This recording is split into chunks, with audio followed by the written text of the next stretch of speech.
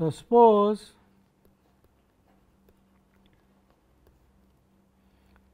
f is differentiable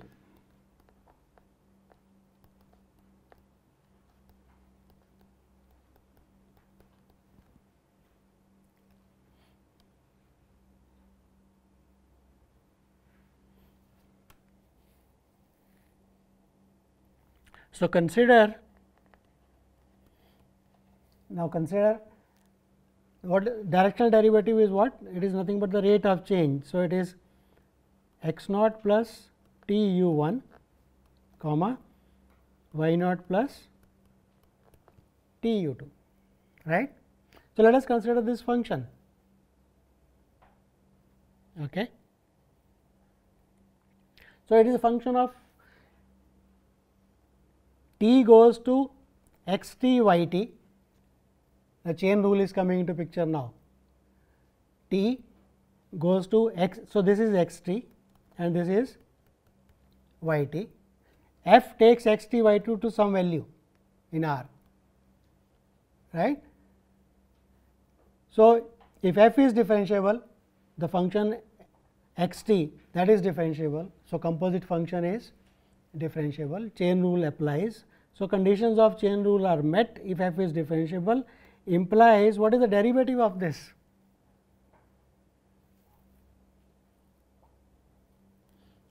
What is the derivative of this function? Let us call it as w t.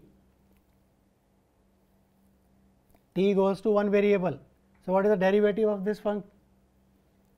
Chain rule f of x right f of x at x 0 y 0. What is the derivative of this with respect to t x t? So, that is u 1 plus u 2 f y x 0 y 0 that is the derivative of this function. So, that is d w by d t right and what is this we are looking at the derivative of this function right. So, what is this equal to?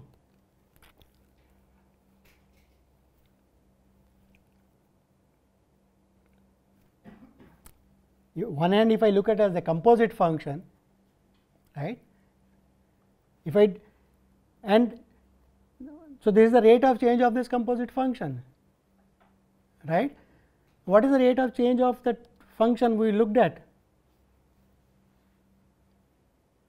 that was precisely what was that that is the directional derivative. So, it says if I look at the apply the chain rule this is nothing but the directional derivative of uh, f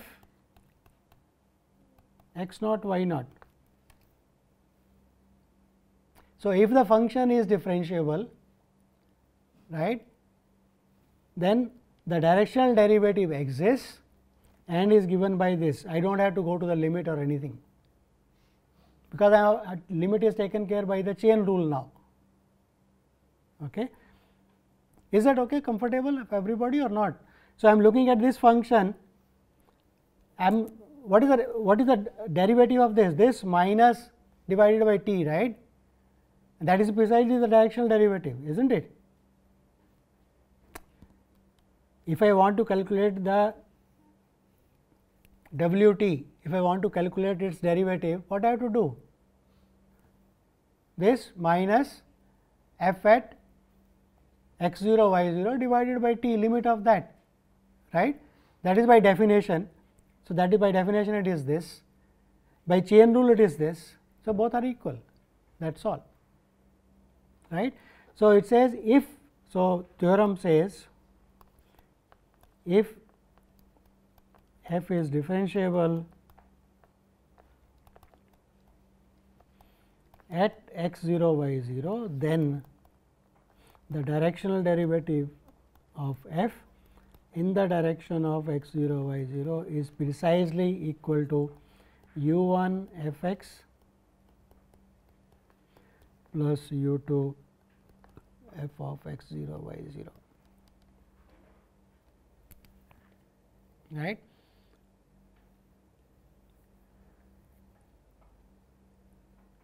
Okay. From here uh, let us a bit of uh, vectors let me write this right hand side in terms of vectors. I want to write so let us write uh, so I am saying this is equal to u 1 comma u 2 that are the components of the given vector u dot product with f x x 0 y 0 and second component f y x 0 y 0. I am creating a new vector given the function f if it has partial derivatives then this gives me a vector f x partial derivative comma f y partial derivative. So, this can be thought of as a dot product of these two vectors now right. This can be thought of as a dot product of these two vectors and this is a very important uh, uh, uh, quantity associated with a function.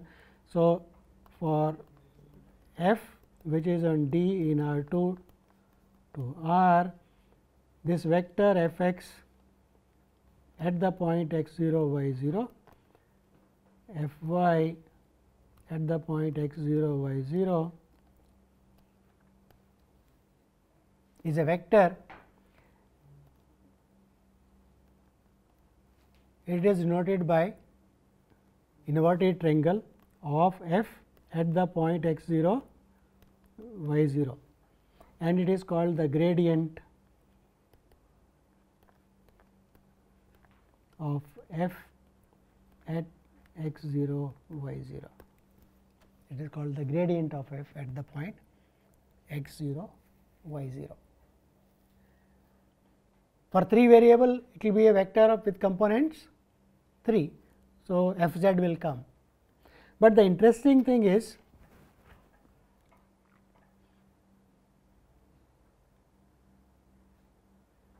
So, if I write that way gradient of f dot u at that point is equal to the directional derivative in that notation. Now, you see how things get interpreted. So, directional derivative intuitively is the rate of change of the function in that direction right and that is equal to the gradient times u. When okay. Now, here is a bit of vector uh, algebra a dot b you can write as norm of this norm of u into what is a dot b norm a norm b into cos of the angle between them. So, cos theta right this norm is 1. So, we can forget that. Now, what is the theta? This is a vector gradient is a vector u is a vector right so, this is theta is the angle between the two. So, and it is cos of theta. When is cos theta minimum? Angle is pi by 2 and then it is 0. So, it says the rate of change of the function is 0 at that point in the direction of the gradient. When u is angle is 0. So, direction of u is same as direction of gradient right. So, it says the rate. So, interpreting this in terms of rate of change. So, rate of change of the function f is 0 when direction is that of the gradient. Are you following what I am saying? No? Okay. So, let me let me interpret it again. It says gradient of f at point x 0 y 0 is a vector dot product with u is equal to directional derivative f at the point x 0 y 0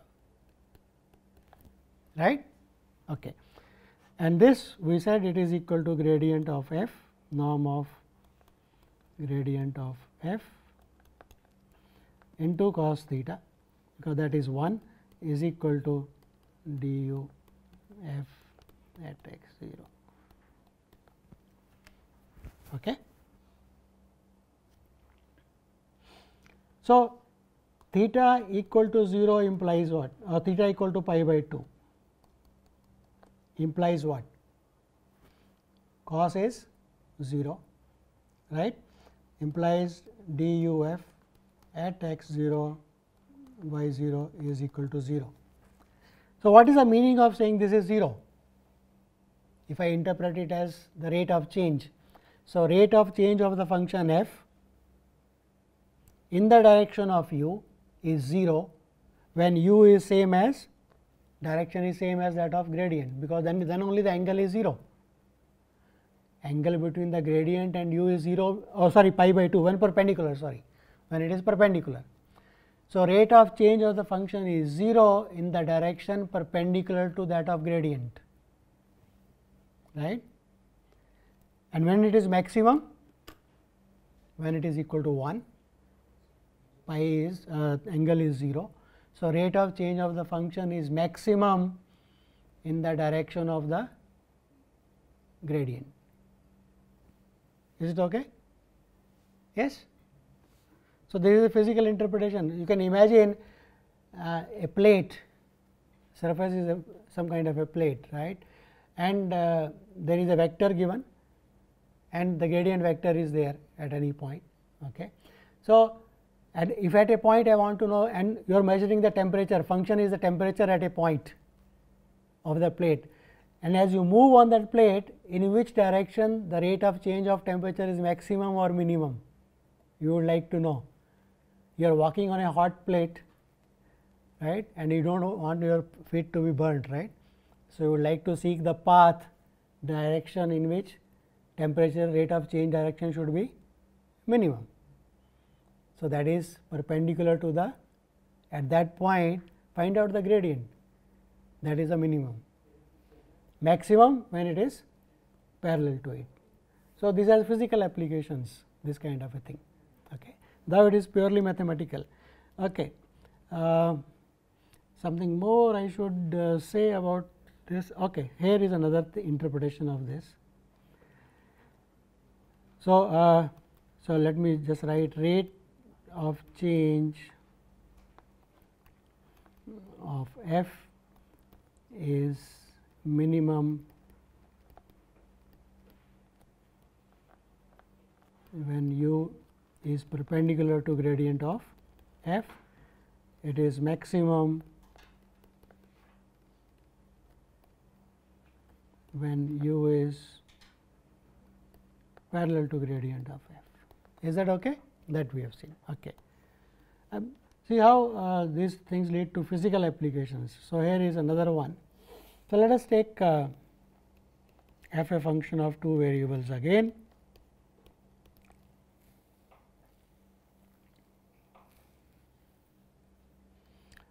So, we saw its graph is a surface right. So, this is a surface S. So, graph of f is x y f of x y.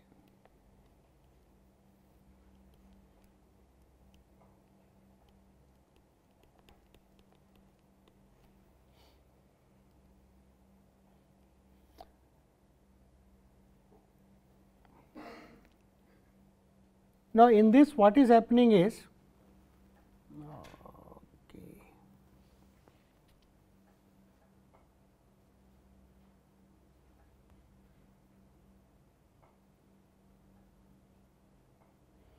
Yeah, I was wondering whether I should introduce the notion of general surface or not. Okay. So, here is where z is equal to f of x y right the z coordinate is taken.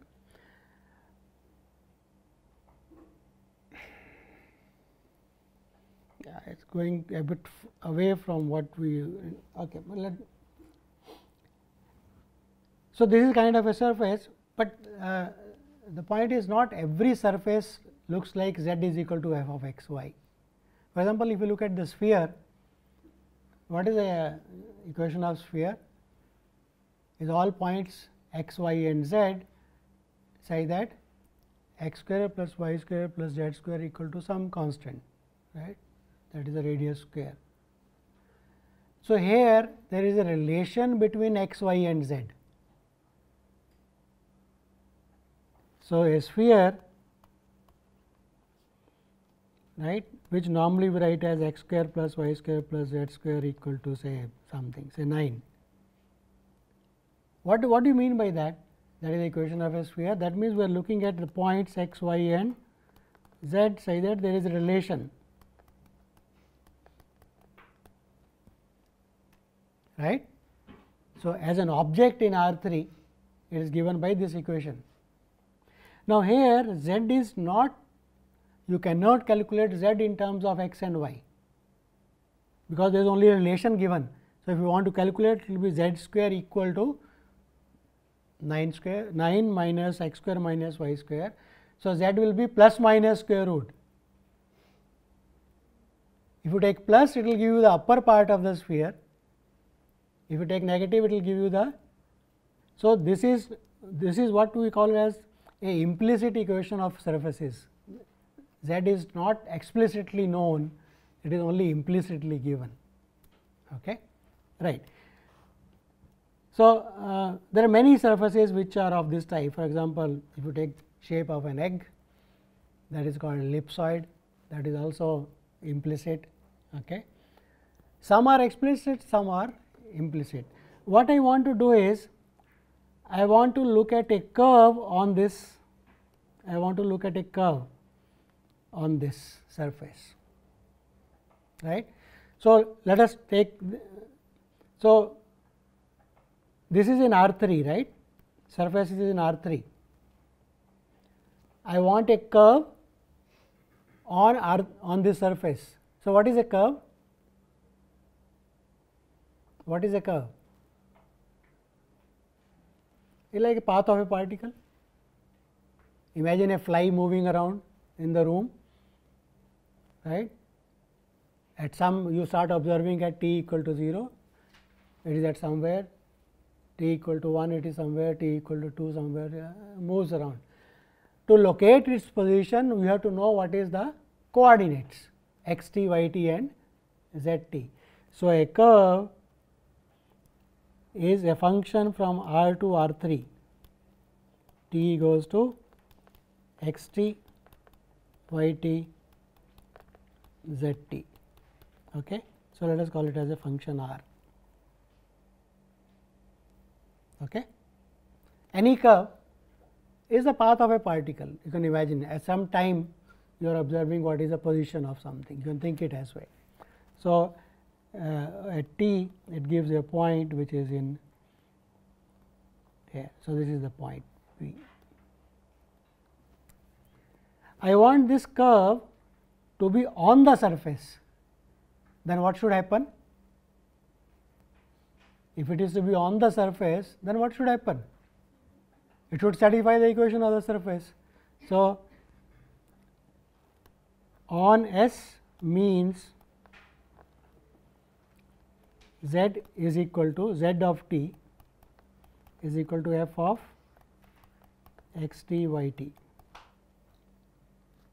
right is that okay because z was equal to f of x y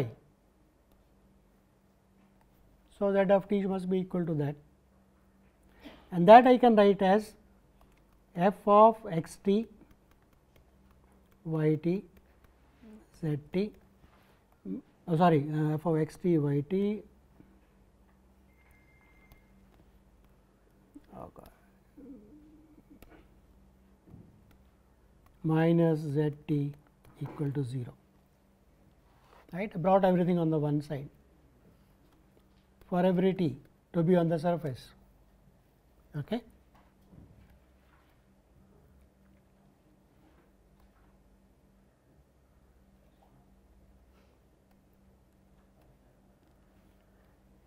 Is a function of t. Now, mathematics enters into picture. This function is 0 everywhere. So, what happens to the derivative of this? Also should be 0. What is the derivative of left hand side? Implies what is the derivative of left hand side? f x right into x dash t sorry into x dash of t plus f y z dash of t minus z dash of t equal to 0 right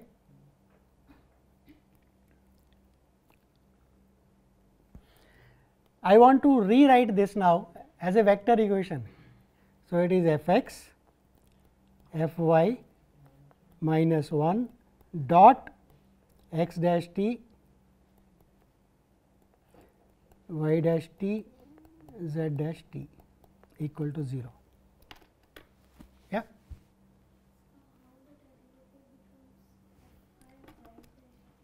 This equation yeah, I am just differentiating this with respect to t. This is chain rule and that is z t only. So, z dash. Oh, this one. Oh, sorry. Yeah, yeah. I, I meant y dash. I wrote as z dash. Sorry, sorry. That mistake. So, that is y dash. Sure. Right? Is okay now? Everybody happy? Yeah. So, this quantity multiplied by this quantity is 0 what is this quantity geometrically? x t, y t, z t was the point on the surface. This is the derivative. So, this is the tangent vector to the curve at that point and says this vector is perpendicular to the tangent vector. So, what should be this vector? It should be normal to the surface. This vector is perpendicular to whatever curve I take right. So, in the picture at this point right there is a vector which is which is not changing because the vector is f x f y it depends only on f there is a vector right and of course z component is minus 1 so whichever direction but at, at this point if i take the tangent then this vector is perpendicular. If I take some other curve, take the tangent, still it is perpendicular. So, this is a vector which is perpendicular to all tangents to all the curves. So, what this vector should be? This we should call it as the normal to the surface. We should call this vector as normal to the surface. All the tangents will lie in a plane that will be the tangent plane to the surface right.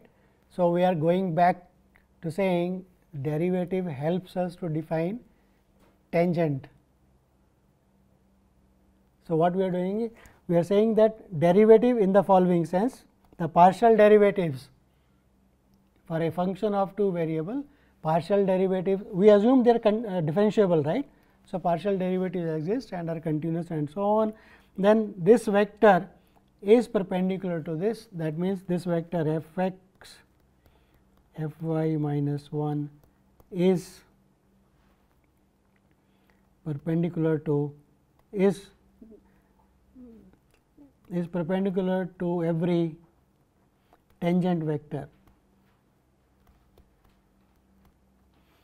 So, we, we call this as so this is called this meaning f x f y minus 1 is called tangent vector.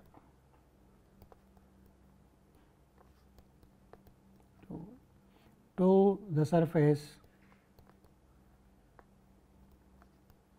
at that point 0 y 0 z 0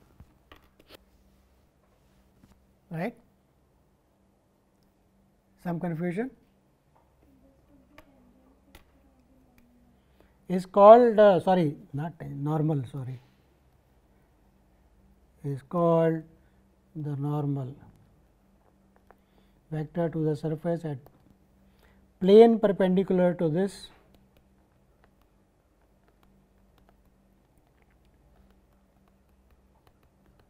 Is called the tangent plane.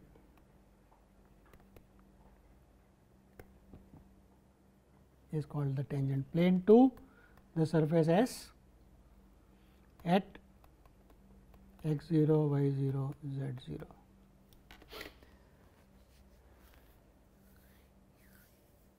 So, I am just trying to bring out the similarity between one variable and several variables. In one variable, we had continuity, we had differentiability, right. Continuity meant that there is no break in the graph of the function and differentiability was something stronger which implied continuity and said that at every point you can draw a tangent. So, same way we are saying in three variables differentiability you can define right and differentiability implies continuity and differentiability means that at every point right on the surface you can have a on the graph of the function that is the surface you can have a tangent plane. And that we are coming via normal. Are saying there is a normal normal is the gradient vector. Gradient vector is a very crucial one. It tells you how the things are changing on the surface. Name gradient right? Itself should indicate english word gradient should indicate. So rate of change is maximum. If it is it is maximum when it is parallel to the gradient right and minimum when it is perpendicular to the gradient. Gradient is also the direction of the normal geometrically right to the surface at that point. You may be wondering why this minus 1 is coming because our surface is explicit z is equal to f x y If you take a sphere, if you take the sphere x square plus y square plus z square equal to 0. So, let me just let me just indicate. If you take the sphere is x square plus minus 9 equal to 0 say. That is my f x y z. That is the surface. Is given by a function of three variables which is implicit z is equal to f x y, I could write it as f x y minus z is equal to 0. I could write this as f x y. There z was explicitly known in terms of here z is not explicitly known, but still even if I take a curve on this surface, it will still have that thing same property x square y square z square. So, what is f of x t y t z t that will be that will be a curve on this surface that is equal to 0 on the surface. So, that is equal to 0. So, what is the derivative of this f x x dash f y y dash f z z dash t equal to 0 right that is same as saying f x, f y, f z dot x dash t, y dash t, z dash t equal to 0. Still you can what is this now? That is a gradient. For this what is the gradient? f z is minus 1. So, that is why this minus 1 is coming here. There is nothing special happening. For explicit when z is explicit that value will be 1 or minus 1 depending on whether you write z minus or this minus. In general this will be the gradient vector which is the normal to the surface right. So, this is very useful in doing uh, what is called differential geometry later on that normals and so on. So, we will not be going into that. My idea of bringing the directional derivative was to indicate that there is something called rate of change in any direction possible right and how it interprets geometrically. So, gradient vector is the one which is crucial. Okay. So, let us stop here.